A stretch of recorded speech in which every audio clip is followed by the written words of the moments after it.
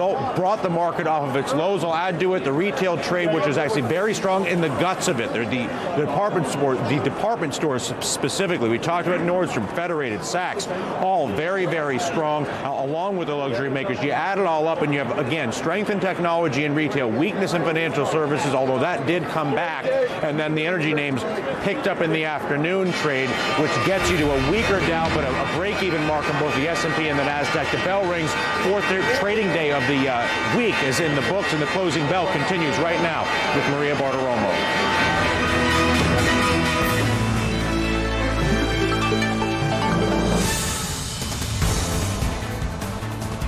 Wall Street awash in cash. Global deal making exceeding some $300 billion in the first month of 07. But where are the deals happening now? We're looking around the world and finding the hottest areas, including South Africa. We'll zero in on the sectors ripe for consolidation. The drug companies are notorious for doling out billions of dollars for marketing to hospitals and doctors. Coming up, the growing backlash against Big Pharma and why all those freebies are being banned. And will the same issues plaguing the big three catch up to the big gun in the auto business? It's not news that Toyota has been making huge inroads into the U.S. auto mar- market.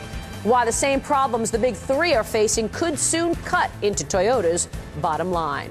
All of that ahead, but first up, a mortgage meltdown leading the market lower today on Wall Street after British bank HSBC revealed it set aside nearly $1.8 billion, more than expected, to cover rising bad loans to U.S. homebuyers with poor credit records. That warning following last night's announcement from New Century Financial that it's restating results due to subprime loan losses. The sector was hammered today on the news. Take a look at New Century Financial, down $11, now at 19.29. HSBC Novastar, and American Home, all under some pressure. The other stocks in the sector also coming under some selling pressure with, with uh, accredited home of Fremont and Fieldstone all down. The selling also spilled over to some of the biggest financials today, and as you can see there, we had weakness across the board.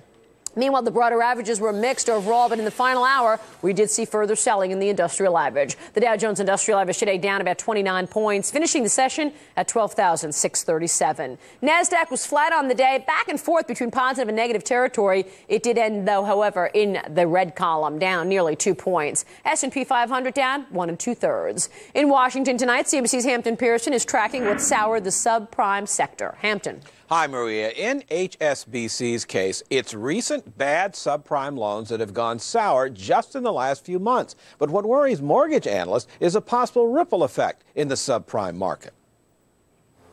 America's housing slowdown is costing Europe's biggest bank, HSBC, billions. Bad debt, most of it tied to subprime mortgages, is up 20 percent. With U.S. delinquency rates climbing and housing values and sales falling, analysts are concerned there's more bad news still out there. I think you have to be afraid of, of more landmines. Um, we really don't know just how much the lenders stretched their, their lending standards during the boom. We're starting to see the fallout now. Problems in the American market have hit several lenders for months. A recent Moody survey says industry wide subprime foreclosures and repossessions more than doubled in the second quarter of 2006. Today, New Century Financial, a California based REIT, says it expects 2007 loan production to drop by 20% as it tightens underwriting guidelines in response to a recent uptick in defaults. Evidence analysts say of a fallout on both Wall Street and Main Street. Foreclosures are up, bad loans are up. You know, this is the first big announcement, but there's going to be more. The consumer is starting to fray on the edges. The ability to resell your house when you get a little tight is not there because prices are down. So foreclosures are ticking up. It's going to be a much, much tougher environment for consumer credit. So far today, little impact on the prime mortgage market, but as you just heard, consumer access to credit will be curtailed, and investors in mortgage backed securities may be rethinking their strategy. Maria? All right, Hampton, thanks very much. Let's get right to Wall Street now with the financial fallout. Bob Pisani, our eye on the floor of the New York Stock Exchange. Bob. Okay, and that's the important thing here today, Maria, is we did have some concern about the subprime mortgages, but it hasn't spread to the overall markets here. Let's take a look at the markets today and see what's going on. You saw today the subprime was weak, but look a little bit beyond that. We see no sign of real consumer weakness growing. First, prime mortgages, which is the biggest part of the mortgage business, The lending there intact, no sign of deterioration. Macro picture, good. Employment is strong. Look beyond that. The GDP numbers we got last week, moderate economic growth. Retail sales, we got the numbers today. By and large, they were terrific. Is business and leisure travel strong? You bet it is. Did you see the Marriott people on our air just a short while ago? They had their numbers out. Take a look at hotel stocks hitting new highs because Marriott came out and made very positive comments. Good guidance. Their pricing is strong. They've got an aggressive share repurchase program, historic high for Marriott. Starwood at a new high, 10 year high. Hilton Hotels down a little bit, but that was an historic high yesterday. Take a look at the retailers. Good numbers overall, and many beat by a wide number. Gap beat guided higher for the quarter. Strong sales right across the board. Gap, Old Navy, Banana Republic. Federated raised guidance. guidance. Nordstrom way above numbers. Aeropostale also did very well. A little bit of murkiness in the home builders. Here was the problem here. Toll Brothers came out today and simply said they're continuing to have high loan lo- uh, high losses for their land and they're continuing to take write-downs on the land. That's a problem and there's still murkiness in the housing industry. That was a big issue here today. Finally, Lear five hours ago, 1041 Eastern Time, halted news pending. Now remember, this is the auto parts company. Carl Icahn made a bid on Monday, $36. Stock's near 40 because the street's anticipating someone may come in and make a counteroffer or he may sweeten the offer. We've heard nothing from them so far today. We've closed, and Maria, Stock never reopened and no news. Back to you. All right, Bob, thanks so much. Meanwhile, the oil market was busy today. Oil prices rallying late in the day today to close at the highest levels in 2007. Take a look. Crude futures surging by $2 a barrel, up 3%. Traders said the main reason behind today's late day move is news that Occidental Petroleum has declared force majeure at its Elk Hills, California oil field one day after a fire there shut down 95% of its production. Later on tonight on Kudlow and Company, Larry is fueling up the gas tax debate. Is a dollar a gallon tax the best solution to reducing our dependence on foreign oil? Join Larry at 5 o'clock with the pros and cons of that debate. It was another slow day for the markets. Meanwhile, the Dow ending the trading session down about a quarter of 1%. Joining me now to talk about what is putting pressure on the major indices lately, Larry Smith, the CIO, Chief Investment Officer at Third Wave Global Investors, along with John Wilson, Morgan Keegan's Chief Technical Strategist. Gentlemen, nice to have you with us. Welcome back to the closing bell. Thanks for having me. Thank you. Larry, let me ask you your uh, trends recently. Have you been allocating your money any differently in the face of the uh, gains that we've seen so far in 07? There has been a big change, Maria. I think if you take a look at what's happened to the equity market, six months ago we turned positive because if you took a look at the inflation fundamentals, the earnings fundamentals, where the Fed was likely to go, everything was really pointing to a stronger stock market. And I think we're still going to do fine over the next 12 to 18 months. But the first half of this year is going to be a choppy ride. Three things really have me concerned. Uh, the first one uh, is that stronger growth takes away this notion that the Fed's going to reverse direction. Uh, and I think they're going to stay very much vigilant here. The second thing is that despite the strong growth, what we're really seeing uh, is that earnings numbers are coming down quite dramatically. You know, we, we got used to these these double-digit year-over-year earnings numbers, which existed for more than, than, three years. But at this point in time, the first quarter numbers are being cut to 4.8 percent. Uh, people are going to have to adjust expectations about what to expect going forward. Um, so those two things really have me concerned. And the third thing is complacency. Right. We just went through six months of a 15% run in the S&P 500 without anything more than a 2% correction. Mm-hmm. Truly remarkable performance. What I really want to get at, though, John, is uh, uh, Larry, rather, is exactly what you're doing with your money, how you, how all of those reasons have actually dictated what you're doing. But, but let me bring, bring uh, John in here and, and talk to you, John, a little about what the charts are telling us. We were just looking at the major indices year to date and, and over the last year, and frankly, they look pretty good. What do you think the charts tell us about what's to come? Yeah, I think they look very good. In fact, uh, you know, if you look at the S&P 400 mid cap, the leader this year so far of, of, the major indices, transports have been up strong. And if you look at the industry groups, the 200 or so of the, the sub-industry groups, I guess if you will, kind of break down those big pieces of pie in the S&P 500. Over a third of them are up 5% so far this year. So it's a pretty broad-based rally. I like uh, what Larry has to say, and I pretty much agree with him uh, with one exception. I don't see that same level of complacency. I see the market sell off, and all of a sudden the put call ratio jumps to 100%. I think there's still plenty of nervousness out there, and I think there's uh, plenty of bricks left in that wall of worry for the market to climb. Mm-hmm. So, so tell me what you do in terms of investing, Larry. How do you dictate your dollars uh, in the face of, of what you're saying that we could see some caution uh, ahead? I think you have to be very careful about your net equity exposure at this point in time. There still seem to be a lot of opportunities around the world to go long some stock markets and short some others, but overall, the net equity position needs to be cut back and cut back somewhat dramatically. We're getting towards a pretty much neutral posture from a very long posture in the fourth quarter of last year. So, are you pulling back in terms of retail, in terms of the areas that are so central to economic growth, or not? You know, we're seeing it as, as pretty broadly based, with the caveat that I think technology might be able to sail through all of this. But you know, energy earnings are being cut quite dramatically. I think people have become too, too uh, confident there. Uh, a number of cyclicals, people are too confident. Um, we're going to need the dollar to weaken significantly from here, something that doesn't appear to be in the cards over the near term to get a lot of those deep cyclicals to, to, rally. John, how about what's happening with technology? That certainly has been a standout group. Do you think that continues yeah. given the momentum? Yeah, I really, I really do, Maria. Some of the best charts I'm seeing are in the networking sector and in the storage sector.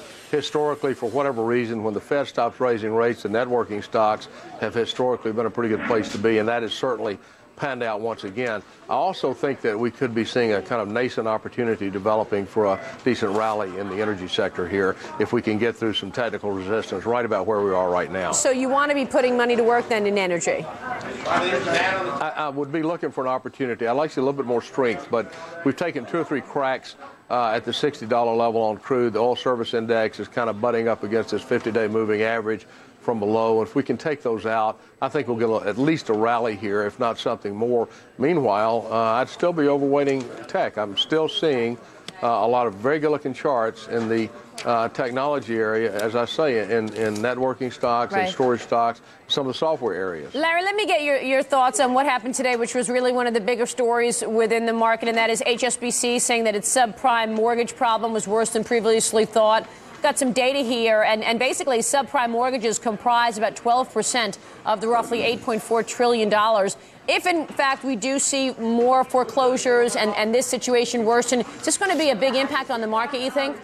It'll be an impact on the market, but not a huge impact on the market. I think that the general notion that we're seeing here uh, is that the consumer sector is in not as good shape as they were a year ago and mortgage delinquencies are likely to continue to rise here. I don't think we've seen the end of that trend. All right, gentlemen, nice to have you with us. Thanks so much. We appreciate it. We'll talk with you soon. And not only was the mortgage lending sector under pressure today, shares of Toll Brothers tumble. Take a look at this. The chart shows that we saw a decline on Toll of about 3% on the day, the luxury home builder said that orders plunged 33% in the first quarter, mostly because nervous home buyers backed out of planned purchases. Toll Brothers says demand is improving in some areas, but cancellation rates are still more than four times above the norm. The company also taking a bigger than expected land write down when it releases quarterly results later on this month because the value of that land has skidded so sharply that it's no longer financially feasible to build on it. Checking shares of some of the other home builders, as you can see there, it was a weekday across the board. The other big story this session was January same store sales, retail. Retailers rang up solid sales last month. In fact, after the disappointing holiday period, shoppers redeemed their gift cards on items like winter clothing during the cold snap. Take a look at some of the stores that surpassed sales projections. And as you see there, Saks, Walmart, higher. The gap was down 7.7%. But Federated, uh, as you see, the gap was actually flat, which was better than the 7.7% forecast. But as you see, uh, we did have gains in sales across the board in the month of January. The worse than expected sales came in uh, January from Sharper Image, as well as Costco, Dillard's, Abercrombie and Fitch, and Ann Taylor. The stocks, meanwhile, traded this way. Mixed performances there, with Saks trading up, as did the Gap and Federated. In other retail news, electronics retailer Circuit City is closing roughly 70 underperforming stores. It is shaking up its merchandising team as well. The restructuring is in response to growing pressure on Circuit City's gross margins. That's due to a fierce price war it's having with rival Best Buy on things like flat screen TVs, which, of course, is a positive for the rest of us. Investors like the news. Take a look at the stock today. It was up 5%. Still ahead, M&A mania showing no signs of slowing down. But where in the world are investors seeing the biggest boom? And then Big Pharma offering generic drug makers pay to delay their cheaper medicine. Will Washington's remedy be a prescription for trouble on Wall Street? Is China's fast and furious run done? New concern the bubble is about to burst. Should foreign investors be worried? Insight from an expert on investing in China. Toyota's revving up to take pole position in the U.S. The automaker's new drive to get America's good old boys behind the wheel. It's all ahead on the closing bell with Maria Bartiromo. John, we need 100 copies of that report printed and shipped by tomorrow. We need a hand.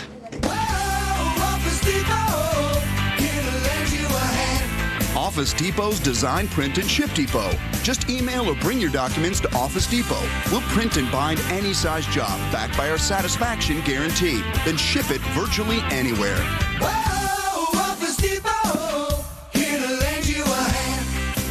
Office Depot, taking care of business. Trading options in penny increments is now allowed at U.S. exchanges, but not readily available to traders and investors. Interactive Brokers solves this dilemma by accepting and displaying penny orders and crossing them at an exchange. With a 22% share of the U.S. options market, there are plenty of matching opportunities. Be penny wise, not nickel foolish. Interact with penny quotes on our website. Interactive Brokers. Options, stocks, futures, forex, bonds. Worldwide. Make the most of your investments and make the most of life. Tyler Mathisen hosts CNBC's High Net Worth, Sunday, 8 p.m. Eastern and Pacific on CNBC. Brought to you by Oppenheimer Funds, the right way to invest. The odds of a child being in a Broadway show are 1 in 11,000. What? The odds of a child being diagnosed with autism, 1 in 166. To learn the signs of autism, visit autismspeaks.org. Nice move. Speaking of moves, where are you putting your money these days? Ah, I'm in CGM Realty Fund. Real estate fund. You? You get the potential long-term capital appreciation of real estate, the convenience of a mutual fund, and it's managed by Ken Heebner. Good point. Maybe the last one you'll score on me. Touche. Call 1 800 CGM Info for current performance information and a prospectus. Read the prospectus carefully. You are sharp today. Jared here with the champ John Cena. Everyone knows Subway restaurants for delicious low-fat subs, like this 6-inch Subway Club. Order a foot long, and it's still less than half the fat of a McDonald's Big Mac. The real surprise, it's got twice the meat, so it fills me up without slowing me down. Wow. Less fat. More meat. Less fat. More meat. The delicious footlong Subway Club. Less than half the fat of a McDonald's Big Mac. But twice the meat. Subway. Eat fresh! As Congress moves left, Larry Kudlow stays right. The right way is capitalism. Kudlow and Company, today on CNBC. America's Business Channel.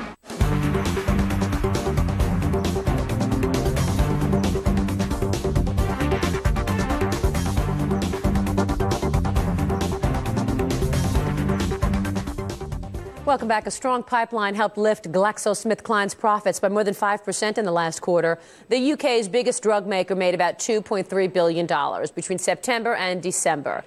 Sales were up nearly 1% to $11.7 billion as robust demand for its best selling drugs offset adverse currency movements and rising generic competition. Meanwhile, for the first time ever, the FDA has approved over the counter sales of a diet pill.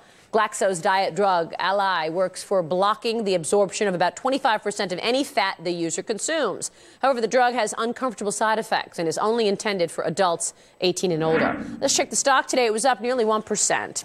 A big drug debate is brewing on Capitol Hill, meanwhile. Recently introduced legislation from Senator Herbert Kohl of Wisconsin is seeking to end a long industry practice.